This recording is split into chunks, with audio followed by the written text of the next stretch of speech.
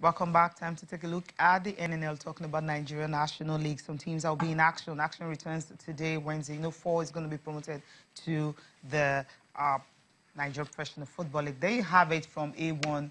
Reactors and BMO Sporting. Uh, a lot of fixtures. Yeah, a lot, lot, of fixtures to go through. Uh, unfortunately, we won't be able to go through uh, everything today. But you can see some really star matches there. Uh, Kayode, I can see Jigawa Golden Stars taking Sokoto United. That looks like a big game now to uh, watch out for. Uh, if you go through the fixtures as well, too, uh, you see action uh, between um, Akwa Starlets and Bayelsa, uh, Bayelsa United. Big, big sides uh, that are looking at coming to the Premier League. Gateway United will take on Bendel Insurance as well, so I imagine Cecilia is uh, very interested uh, in that one. While in Group B2, you're going to have action uh, between Delta Stars and Ikorodu United. Ikorodu United came the other time, went back straight.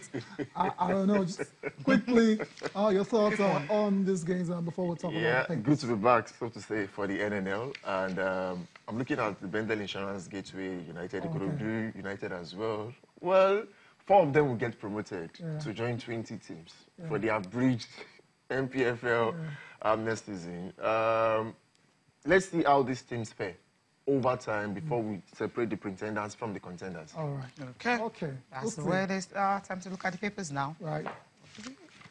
Okay. Starting with our sporting life here.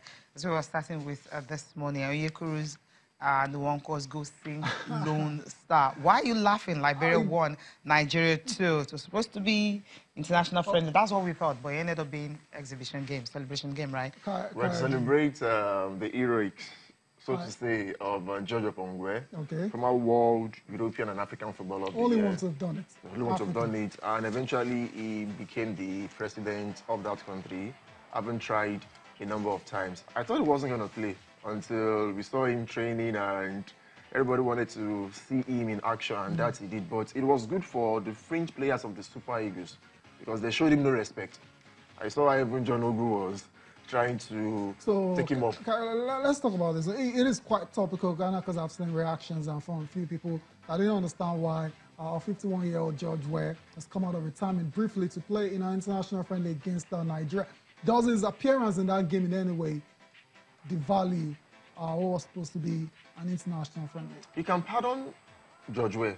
He was once a footballer. Of course. And I guess he just decided to join the team and say, okay, I want to play. Mm. He's the president of the country, the and they just gave him that leeway. Mm. Being a former footballer and seeing Nigeria as, in a way, big brothers in the region, he just wanted to strut his stuff and try to contribute his little quota. I didn't see... So it doesn't devalue the game For itself. me, it, it turned out to be an exhibition. But our, our, players did not water down or lower their own standard. I caught the game online. Okay. Uh, with the way um, the likes of um, Jamilu Collins and John Ogu played out the game, it was quite competitive. Mm. It was an opportunity for the French players to also try to impress the coach. Okay. The likes of um, Semilogo Ajayi and even Henry Onyekuru and um, Simy Nwankwo who got goals. Correct. They're trying to put themselves in the mix for the next qualifiers against Libya back to back mm. because they know they've got competitions in other established players mm. in the team. Oh, okay. also got to right. play against the legend as well. Well, yeah, exactly. Extra, extra okay, all right. Our complete sport is next. Ahmadu Bello Stadium may host uh, Super Eagles versus Libya. If it's still under construction, okay. maybe rehabilitation, refurbishment, or what have you. Why do we want to make use of the stadium? Perhaps it will be ready before October. Uh, Why do we like the 11th hour? okay. Last paper for review, Sporting Sun.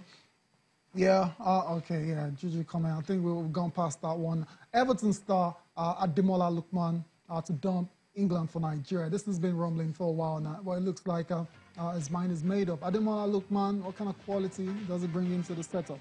Well, I saw him on loan in um, Germany okay. last season, like? and he did quite well. Okay. And uh, if he had decided to dump the Three Lions for Nigeria, good one, because some of these players, they get to struggle mm. while trying to represent England, and they would have done better with the Super Eagles of Nigeria. So if he's coming the way of Nigeria, I think it's a good one for the young man. Mm. Good addition. Okay. Mm -hmm. yeah, it's going to be. Thank you. Thank you for coming. Always a pleasure to Appreciate be here. it. Okay. I'll say full time. Yeah. Thank you for watching. I'm Cecilia Enjoy the rest of your day. I'm Tayo Salam.